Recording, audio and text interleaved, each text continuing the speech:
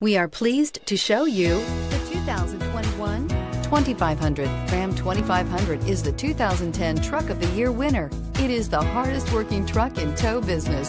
This vehicle has less than 100 miles. Here are some of this vehicle's great options. Electronic stability control, brake assist, traction control, rear step bumper, remote keyless entry, front license plate bracket, four-wheel disc brakes, speed control, low tire pressure warning, tachometer.